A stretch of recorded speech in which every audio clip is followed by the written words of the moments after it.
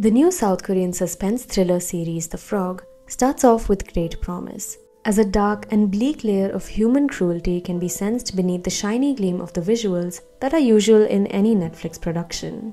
However, as it tells the story of two heinous crimes in two separate decades and what consequences these acts have, the eight episode long affair becomes unnecessarily confusing and stretched, keeping the truth away for the later episodes. At the center of the plot is John Young Ha, an elderly man running a beautiful holiday rental where a mysterious guest seems to commit a crime during her stay. Overall, The Frog is mostly entertaining to watch, although its conclusion is not as satisfying, and the series could have been way more concise in its storytelling.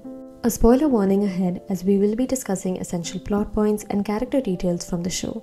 So if you've watched The Frog already, let's dive straight into the video. And while you're at it, please like the video and subscribe to our channel as it helps us a lot. What is the Netflix K series about? The Frog takes place in a small forested town a few hours' drive away from Seoul, where Jong Young Ha has been spending most of his time in the last few years. When his beloved wife had been diagnosed with a terminal illness, Young Ha had moved to the town and bought a beautiful house in a remote and forested area, as per his wife's biggest wish in life. After eventually losing her, the man decided to move away from Seoul and spend most of his time at that town, living in a small house alongside the villa which he now runs as a holiday rental. His daughter Yusun often asks him to return to Seoul and stay with her and her fiance, but the man is more comfortable running the rental house with his best friend Yongche. But Jun is not very determined in running the business either, and it is Yongche who encourages him to advertise about the property on the internet to bring more guests in. Around this time, a young woman named Songa checks in at the property with a young child named Shihyun, who is evidently her son. Although Songa is a bit reserved and slightly mysterious, Youngha does not mind letting her stay. However, he does sense something wrong when she leaves the house early the next morning, leaving behind visible bloodstains and an unnatural stench of bleach, and most notably, without her son tagging by her side. The frog also presents another incident from a motel in the same town, intertwining this story with the main narrative, although it turns out to be an incident from more than 20 years ago. Gu Sang-jun ran the Lakeview Motel with his wife Eun Gyung in the early part of the 2000s, running a fairly profitable business at the place. When Sang-jun spotted a car on the lonely road one rainy evening, he acted over-friendly to the driver, a serious-mannered man, and invited him to spend the night at his motel. As it was the off-season and therefore there was no demand at the place, he even gave the guest the room with the best view, despite charging him a nominal fee. However, it all turned Sangjun's life upside down when the guest turned out to be a serial killer named Hyang Chol, and he had even committed the grisly murder of a young woman in that very motel room. Although Hyang Chol is caught by the police almost immediately, the reputation of the Lakeview Motel is harmed beyond repair because of this incident. As a serious threat of crime and violence looms large over both timelines, there is only one common connection between them a police officer named Yoon Bo-min. Having a knack for uncovering crimes from a young age, Bomin first got posted at Hosu police station in the early 2000s, only a few days before Hyangchol struck at the Lakeview Motel in the nearby town. She witnessed the downfall of the motel and the devastating effect of the murder on Sangjun and his family. In the present day, she returns to the same station as a high ranking officer and gradually starts to notice some unnatural behavior in Yongha and his mysterious guest Songa. Why does Yongha not report his suspicions? On the day of Songha and Shihyun's arrival, Yongha and Yongche spent a significant amount of time playing around with the young boy, without any idea that he was not actually related to Songha. It is only through a brief scene when Shihyun refers to the woman as ma'am and concernedly asks whether his father will be joining them that we get the hint that they are not mother and son. By the time Yongha wakes up the next morning and goes to check the house, his guests have left unannounced, which in itself is quite odd. Youngha is even more surprised to see that the toilet has been scrubbed clean almost to perfection, which no guest ever does at a rented property. And there is also an odd smell of bleach. Finally, a specific record that Songa had borrowed the previous night has a suspicious blotch of blood on it, as if it had been held by someone with bloodied hands.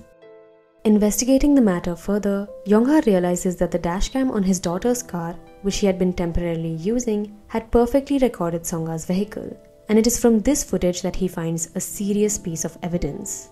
While leaving the holiday rental, Songa was all alone, with no sign of Shihyun, but she had struggled to put in an oddly large and heavy suitcase in the trunk of her car.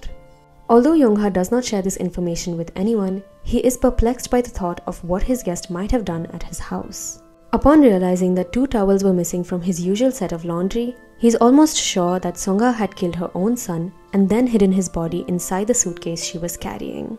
However, despite having evidence to prove his suspicion and coming across Inspector Bomin shortly afterwards, Yongha does not report his suspicions to the police. Yongha starts to keep his thoughts in check simply to avoid any hassle, gradually starting to make himself believe that he does not need to get involved in the matter since it is not hampering his life. In Southeast Asia, there is a saying that when naughty schoolboys throw stones at frogs, the frogs do not react or protest, and instead just question why it was the target of such humiliation. Yongha is like the frog from this saying, and this is also where the Netflix K series gets its name from. He initially starts to avoid going to the police, thinking that he will go to the station the next day. In the next few days, though, he decides not to bother with the matter and instead washes away all the evidence from his house. Seasons change and the protagonist happily forgets about the incident, although the image of Songa driving towards his house does haunt him from time to time. Ultimately, though, his decision to not act on his suspicions does return to mess up his entire life. Songa eventually returns to the property around a year later, as she clearly realizes that Yongha is like the frog from the saying, who can be easily manipulated for her twisted and cruel plan. Did Songa kill Shihyun? Songa killing Shihyun initially seems like the most abhorrent act among all crimes, for it is suggested that she kills her own son. Although she is the main antagonist in The Frog, Songa is not as vile as to commit filicide, for Shihyun was not her biological son.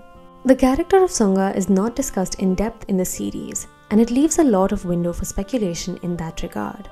The woman happens to be the daughter of an extremely wealthy and influential industrialist in Seoul, who is powerful enough to have the Hosu police station chief release his daughter after she is arrested. In all probability, Songa had an innate liking for cruelty and violence from a young age, but her father never stopped her and instead made her believe that her actions would never have any consequences because of their family status.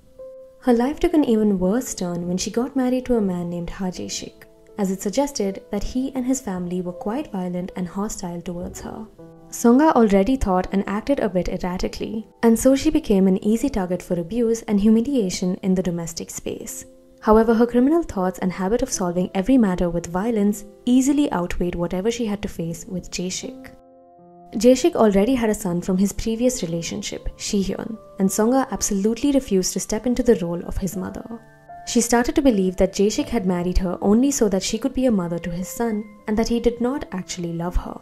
This belief gradually made her consider Shihyun the one big obstacle in her romantic life, as she felt that the boy actually hated her and wanted to remove her from his father's life. These thoughts took control of Songa's already troubled and cruel psyche, and she made the plan of murdering her stepson. Her vacation at Yongha's holiday rental was intended only as a perfect scenario for the murder. On that fateful night, she drugged Shihyun and made him unconscious before strangling him to death and possibly chopping up his body, which eventually led to the bloodstains on the vinyl record. Like always, the woman turned to her father for help, and he ensured that her crime was never discovered. Shihyun was declared to have died from some other cause, and the body of some other child was given to his family for the funeral. Considering the calm and composed nature of Songa shortly after the murder, it is likely that she had killed earlier as well, and her father had helped her out of any legal trouble. She does gather more confidence after returning to Yongha's life after a year, as she demands that he sell his house to her, or at least let her live there without any rent or official contract. She even goes to the extent of threatening to kill his daughter, and then also gets a police officer named Kim Son Tae involved by faking to be romantically interested in him. When Son Tae discovers the truth about her, Songa kills him as well and continues to maniacally remove every obstacle in her way with terrible violence. What was the mystery behind Hyang Chol's murder? When Hyang Chol had been caught after his serial killing spree, the man had shown no remorse or guilt for his actions and instead gloated about the murders as if they were his achievements in life. The psychopath was given a sentence to life imprisonment, which some felt was simply not enough punishment for his crimes. Other than the victims and the families who were directly harmed by Hyangchol, his actions had terrible indirect repercussions on others as well, especially the owners of the Lakeview Motel. No tourists stayed at the motel even after the police investigation was over, and it earned the name Murder Motel among the locals and others who followed the case. As a result, Sangjun and Ungyung were driven out of business, forced to try and sell the motel and look for other jobs. They were secretly ridiculed at every job though, as if unknowingly sheltering a serial killer was a grave crime they had committed, and this ruined their personal lives as well. The couple separated, with Eungyung also holding her husband responsible for the fateful night, and the young son Gi-ho was regularly hazed at school because of his parents' mistake. Although Eungyung did return to her family after some time, she eventually took her own life in a desperate effort to get rid of the guilt and trauma from the incident. Sangjun also lost his sanity following this, and he had to be admitted at a mental health facility. Young Giho was even more affected by it, as the added humiliation from his classmates led him to take sleeping pills in an attempt to commit suicide. After growing up, he refused to keep in touch with Sangjun, probably believing that his father had not done enough for the family during the time. Giho grows up to be a social outcast, and he is infuriated by the fact that Hyangchol, who had indirectly destroyed his whole family, still receives attention from the media because of his psychopathic personality. Incidentally, Giho had seen Hyangchol carry the senseless body of a woman into his room at the motel on the night of the murder, but he had not told this to anyone ever. In this sense, Giho acted like a frog from the previously mentioned saying too, just like Yongha, but the suppressed guilt and anger eventually spilled out. Moving back to the now abandoned motel, Giho planned to kill Hyangchol, and he got the help of Sangjun's best friend Jungdo in this matter. Finally, when Hyangchol is allowed to make a special visit to the hospital to meet his dying mother, Giho executes his well prepared plan and kills the murderer as revenge for his parents' misery. After the incident, Yongha figures out that Giho was the perpetrator in the strange murder case, but he refuses to report this to the police, this time consciously choosing to do so because he supports the young man's action. How did Songa die? At the end of The Frog, Songa manages to bring Yuson to the holiday rental with false information about her father Yongha getting into an accident and then holds her captive inside a suitcase. Songa clearly keeps Uson alive only to use her as a bargaining chip against Yongha, knowing well that he would do anything to save his daughter. Yongha agrees to write off the house in Songa's name, just as she had hoped, but his situation is helped by the clever police officer Yun Bomin.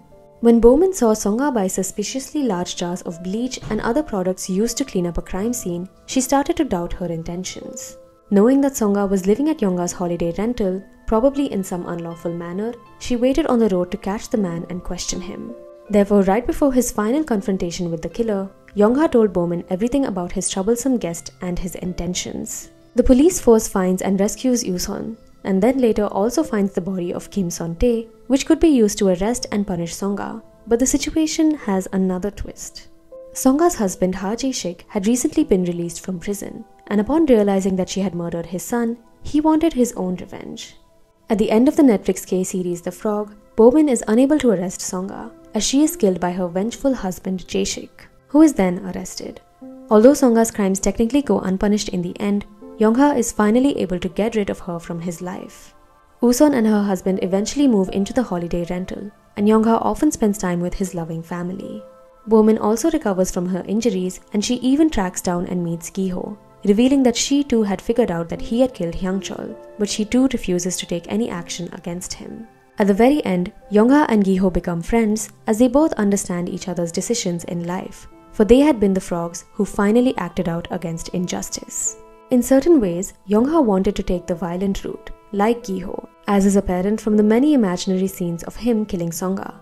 Him and all other central characters are heard wondering, at the beginning of each episode, whether an injustice without any witness of it should be considered an injustice.